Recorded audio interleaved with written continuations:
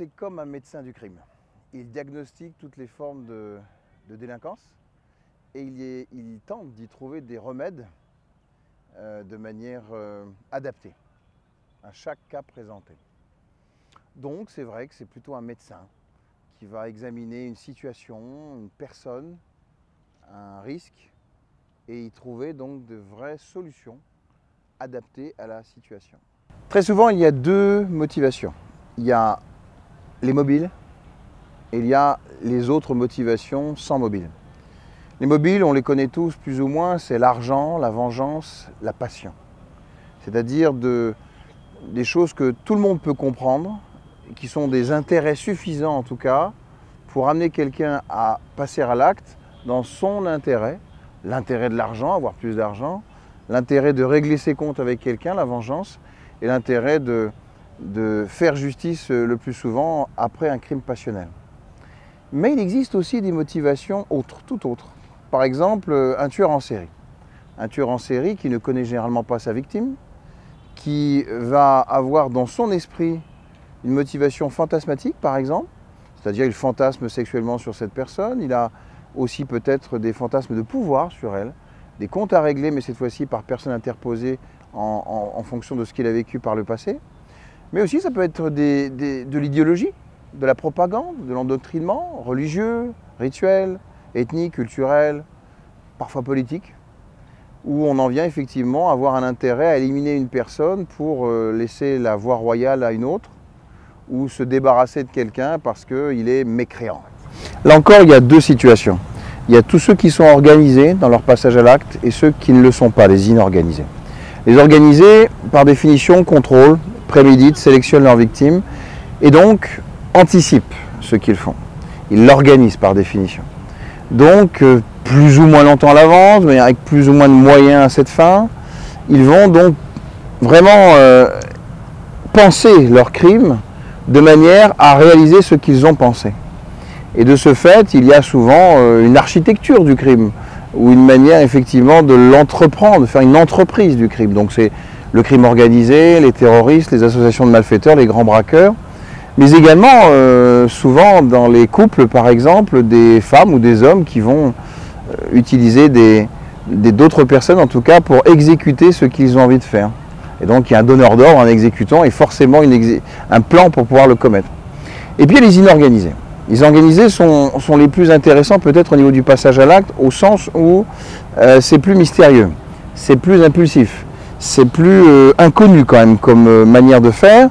Et donc c'est souvent la colère, la pathologie, on est effectivement dans quelque chose qui est une décharge émotionnelle violente, fulgurante, foudroyante, qui peut intervenir. C'est aussi euh, des choses effectivement qui, sont de l'ordre de j'ai un cadavre dans le placard, c'est-à-dire vraiment un traumatisme passé très lourd, et je l'ai rangé comme ça dans un tiroir de mon inconscient et je vis avec.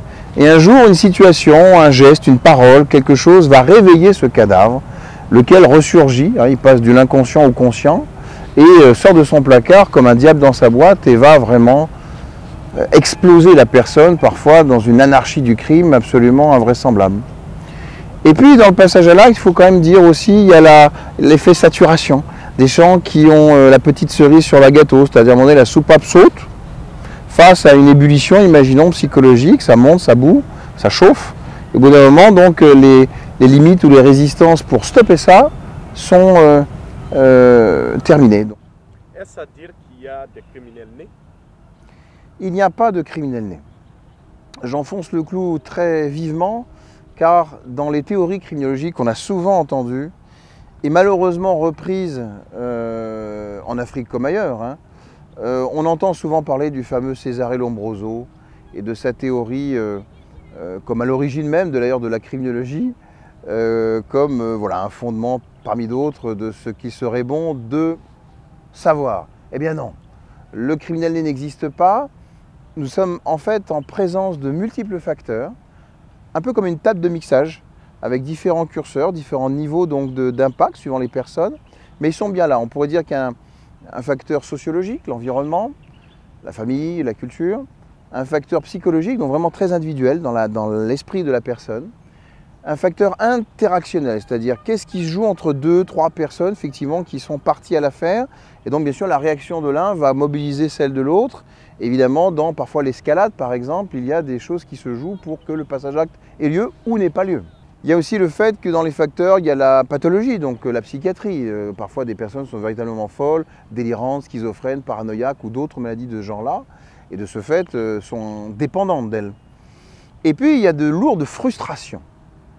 Les frustrations sont celles qu'on accumule avec le temps parce qu'on est pauvre, parce qu'on n'a pas réussi, parce qu'on a échoué donc à avoir homme ou femme dans sa vie, parce qu'on n'a pas eu d'enfant, parce qu'on a perdu son père ou sa mère. Ce que le FBI appelle stresseur. Et le stresseur, c'est vraiment un facteur déclencheur lourd si on n'y prend pas garde, si la personne n'a pas assez de ressources personnelles ou spirituelles ou autres pour pouvoir encaisser euh, le choc ou le problème de vie auquel elle est confrontée. Et malheureusement, elle vient souvent à compenser si elle ne le peut pas, euh, si elle n'a pas assez d'éléments de ressources pour encaisser, eh bien elle va compenser vers un passage à l'acte qui la libère et la restitue dans ce qu'elle devrait être. Exemple, je suis pauvre, je vois un riche, je lui prends son argent, je trouve ça tout à fait juste. Hein, il y a une personne, effectivement, je n'ai pas réussi à avoir une relation euh, avec une dame, l'autre il a tout pour plaire, euh, je vais effectivement par jalousie ou l'envie m'en prendre à lui, et ça me fait du bien parce que ça restitue un peu l'égalité ou hein, l'équidistance entre les deux personnes. Alors, c'est quoi la différence entre un comportement criminel et une signature criminelle? Un comportement criminel, d'un côté, c'est ce qui peut paraître à peu près normal, rationnel et surtout évolutif. C'est-à-dire qu'on ça évolue en fonction de, euh, de l'âge, par exemple, de la maturité, de, ce qu'on avait prévu de faire. C'est quelque part euh, calculé. C'est ce qu'on a besoin de faire pour commettre son crime, dit le FBI. Et donc de ce point de vue-là, c'est classique, c'est banal. Euh, je retrouve un tiroir ouvert et qui, au domicile de quelqu'un, ça m'inspire un cambriolage. Je retrouve une jeune femme qui est le slip ou la culotte enlevée, eh bien, je pense plutôt à une agression sexuelle. Tout est apparent et logique et je dirais normal, normalement admis. Alors que la signature criminelle, c'était ce que n'était, en tout cas, ce que le criminel n'avait vraiment pas besoin de faire surtout lorsque le, crime a eu lieu, il est post-crime, post-homicide, par exemple. Euh, et, donc c'est la projection d'un besoin psychologique qu'il a, qui est très personnel au bout du compte, et qui s'exprime donc au travers d'une position du corps, euh, d'un objet qui ne devrait pas y être, euh, d'une manière de, de, vivre en tout cas et de concrétiser dans ses comportements sur la scène de crime des choses que absolument n'importe qui ne ferait pas. Et donc cette singularité, ce côté très spécifique, bah, signe, un peu comme une signature manuscrite, le caractère comme ça très particulier de ce comportement. Et si on a un décodage assez précis de ce comportement, un peu comme on a un dictionnaire des mots, ben on a un dictionnaire du comportement criminel, eh bien on pourra définir un petit peu ce qu'il avait dans sa tête et donc de mieux profiler, de mieux orienter l'enquête vers celui qui l'a fait. Alors, vous qui êtes spécialiste, euh, vous parcourez le monde en essayant d'apporter vos lumières à ceux qui en ont besoin. Qu'est-ce que vous diriez aujourd'hui à nos dirigeants, je vais parler des dirigeants africains, qui n'ont pas encore intégré cette donne dans les investigations policières? D'abord, dès lors qu'une société a une criminalité, elle a au moins en partie échoué dans ses moyens traditionnels pour lutter contre cette criminalité. Donc, il faut très logiquement, avec bon sens, faire appel à d'autres techniques, euh, dont la criminologie, mais pas uniquement, qui permettraient de juguler le problème. Il faut être pragmatique. Voilà. On dit si les méthodes euh, classiques hors criminologie n'ont pas vraiment fonctionné, et peut-être même ont laissé la criminalité augmenter de différentes manières, parfois, alors il faut sans doute euh, s'intéresser à toutes les techniques qui pourraient mieux le résoudre ou tenter de le résoudre de manière plus adaptée. Donc je pense deuxièmement que la criminologie, comme son nom l'indique, est vraiment focalisée, c'est une spécialité dans la lutte contre le crime. Quand on veut devenir architecte, on fait des études d'architecture. Quand on veut lutter contre la criminalité, on, fait des études de criminologie, on devient criminologue. Et donc c'est presque pour moi aberrant quand même qu'on n'ait pas euh, dans les services de sécurité, euh, dont la compétence est évidemment euh, intéressante et même suffisante parfois, mais quand même un certain nombre de spécialistes qui pourraient apporter des vraies analyses diagnostic et solution à des problèmes spécifiques de criminalité. nous sommes confrontés aujourd'hui au terrorisme, qui est quand même un phénomène relativement présent, croissant, qui prend aujourd'hui des, formes très diverses, hein, protéiformes, euh, hybrides parfois, euh, qu'on n'attend pas, qui nous surprennent. Euh. Bon, c'est clair qu'un certain nombre de, de, terroristes passent dans les mailles du filet, et donc il faut savoir resserrer les mailles du filet ou cibler dans notre collimateur ces gens-là plus que les autres. Et il faut donc des moyens adaptés de lutte antiterroriste dont la criminologie répond grandement. Si on observe autre phénomène, à mon avis africain assez lourd, euh, les violences conjugales, les maltraitances familiales, les, éléments qui sont beaucoup plus personnels et qui portent atteinte aux enfants ou aux femmes, euh, que ce soit en termes de liberté, d'atteinte à la liberté, que ce soit en termes de maltraitance physique, psychologique, sexuelle des femmes par exemple, euh, et où, nonobstant les, je dirais, le cadre culturel qui pourrait aussi le faciliter, mais qui n'excuse absolument rien.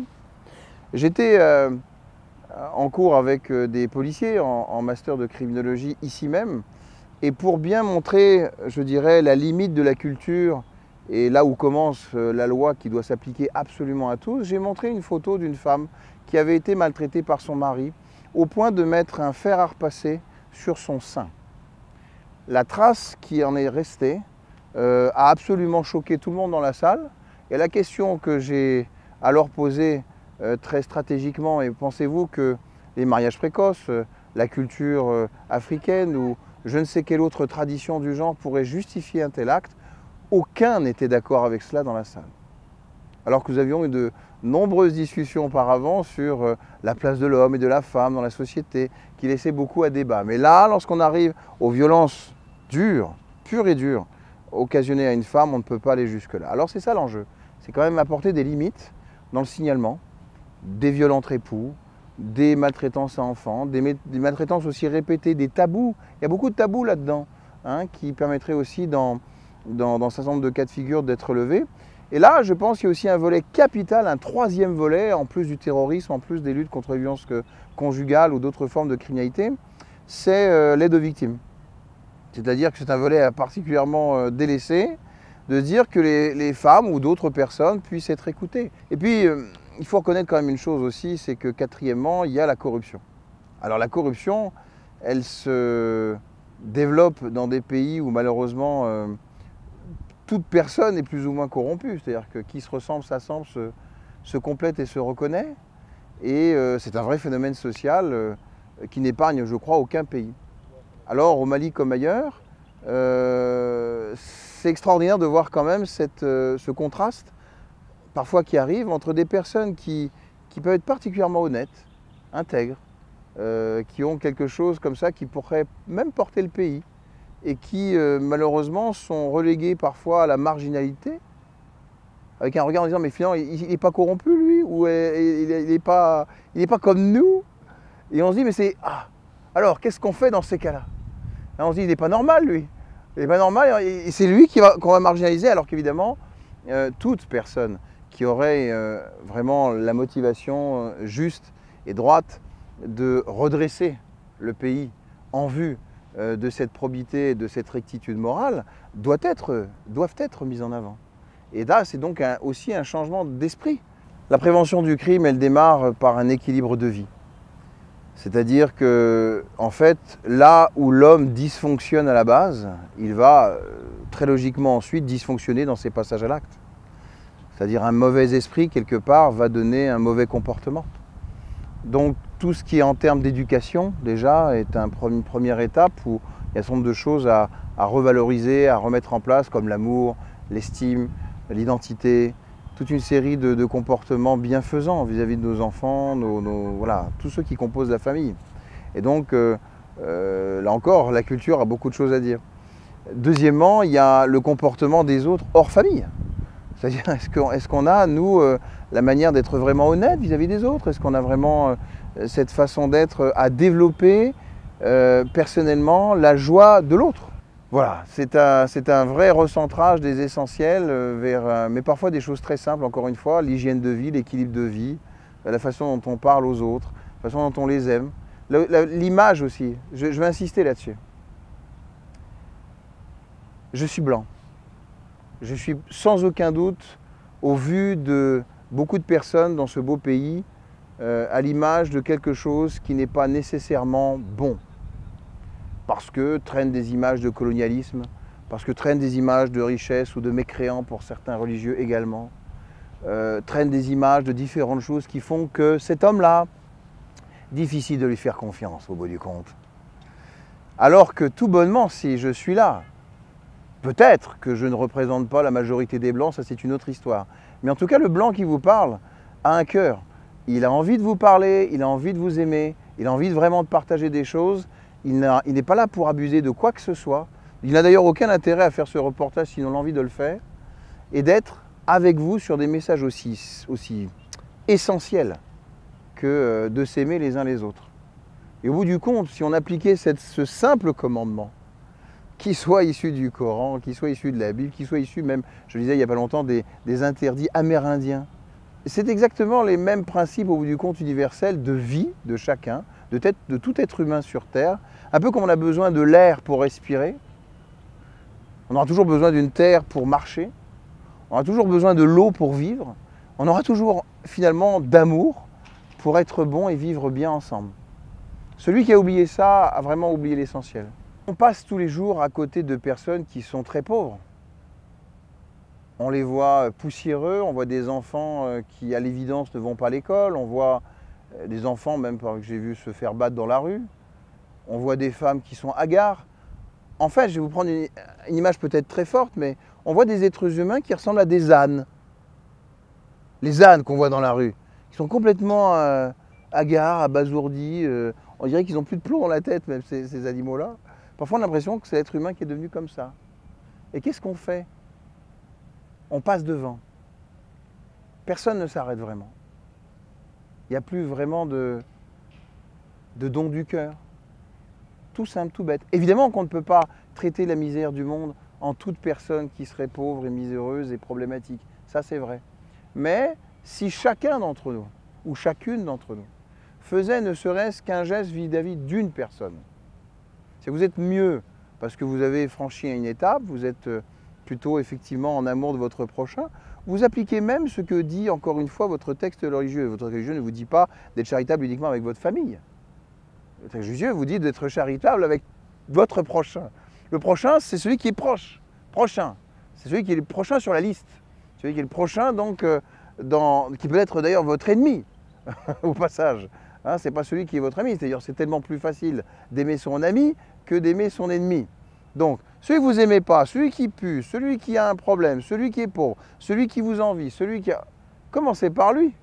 Invitez-le allez parler avec lui, essayer de partager des choses tout simplement, et vous trouverez très très très souvent, par la grâce de Dieu, une personne euh, inestimable, dont vous ne soupçonniez absolument pas qu'il pouvait avoir des trésors d'humanité ou des trésors qu'il va vous laisser découvrir. Mais si vous en restez à la façade, si vous en restez à votre distance, si vous en restez à votre vie banale, de celui qui se ressent sur lui-même et qui ne pense qu'à lui, au bout du compte, fort égoïste, alors effectivement, il ne faudra pas s'étonner que la société malienne, comme d'autres, génère les criminels qu'elle mérite. En tant que criminologue, vous avez dû être choqué.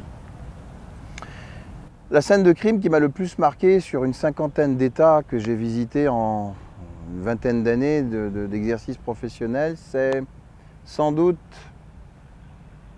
celle dans laquelle je suis rentré, c'était en France. Euh,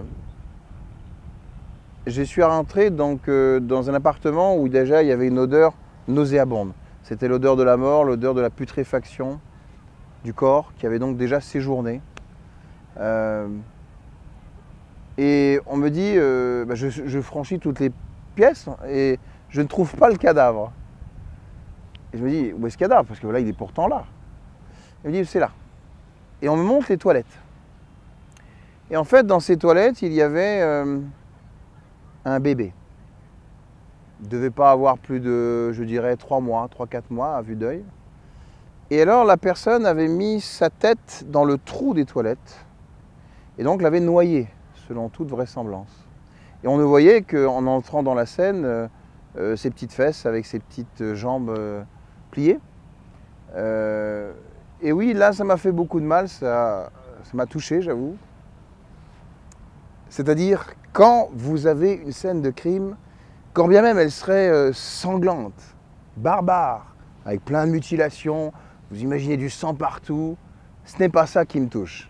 Parce qu'au bout du compte, je suis un peu comme un médecin du crime, donc il va aborder cette scène ou cette personne comme un chirurgien ou un médecin légiste de manière très froide, avec l'analyse qui va derrière, qui va donc faire son travail, avec beaucoup de sang-froid, on va dire. Non, ça, ça ne me touche pas. Mais là, par contre, ce qui m'avait touché, je crois, ce qui me touche encore à l'évidence, c'est euh, qu'on a fauché la vie dès le départ. C'est-à-dire, quand même, ce petit bébé demandait, ne demandait qu'à vivre. On peut bien sûr penser à l'avortement, mais au moins on ne l'a pas quelque part, c'est moins visuel, hein, mais c'est tout aussi horrible, pourrait-on penser. Mais là, j'étais vraiment en face d'un petit être qui, euh, où je me dis même, il y a lui qui a souffert, il y a tout son avenir qui a été fauché. Vraiment, c'est comme s'il n'avait pas choisi de naître, des choses aussi essentielles que ça. Mais après, je me dis, mais quel homme, quelle femme peut faire ça? C'est-à-dire qu'on touche au fondement de l'humanité.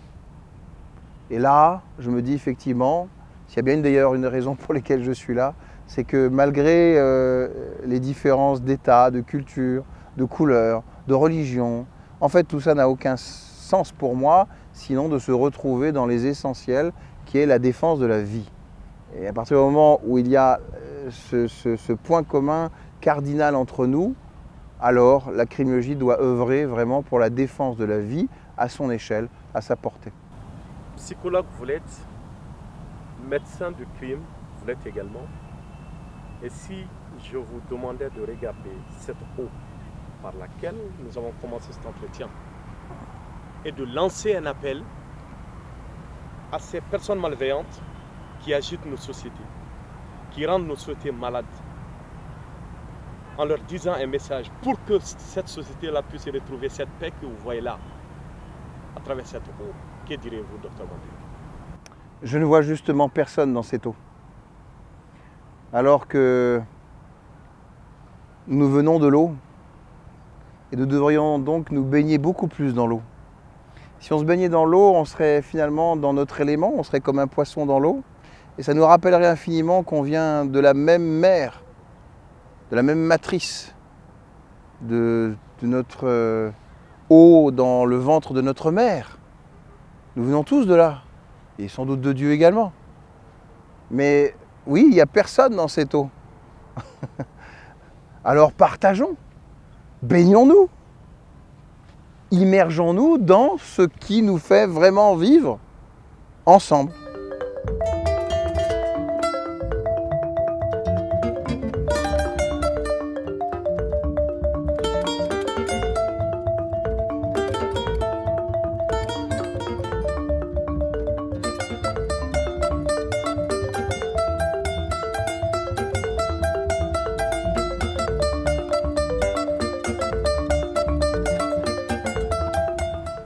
Je m'adresse à tous les hommes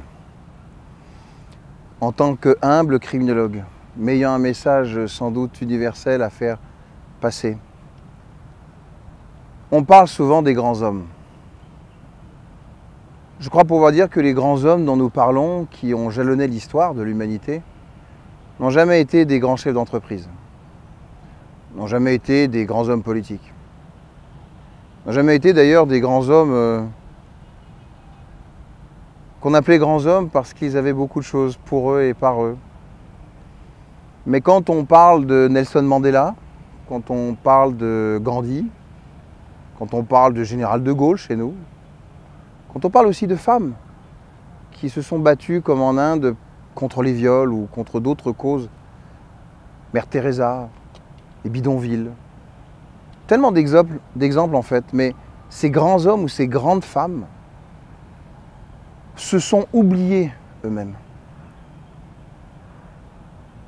En utilisant leur cœur, leur foi, le meilleur d'eux-mêmes, de ce que Dieu leur avait donné, que vous portez tous et toutes en vous, pour l'utiliser non seulement pour les autres, mais pour nourrir en vous la foi nécessaire pour le faire pour les autres. Souvent on s'oublie, en fait On croit que en donnant tout aux autres, on sera meilleur. Non, il faut déjà s'aimer, être euh, des bonnes personnes, avoir un bon équilibre de vie, nourrir cet amour véritable de douceur, de joie, de partage, de respect, qui font que on sera fort, mais fort de cœur. Alors l'homme, le grand, ou la femme, la grande, cherche l'équilibre. Soit l'amour, les autres, l'amour. C'est dans les causes nationales.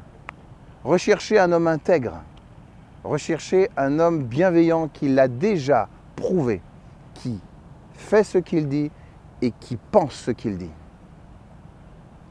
Et laissez-le agir. Laissez-vous agir dans le meilleur de vous-même, à réaliser le meilleur. Et votre fruit, votre récolte à venir fera mille et une bienfaisances. Et là, vous serez heureux ce jour-là. Non pas fier, non pas orgueilleux, mais heureux de l'œuvre accomplie. C'est ce que je vous souhaite à tous et à toutes.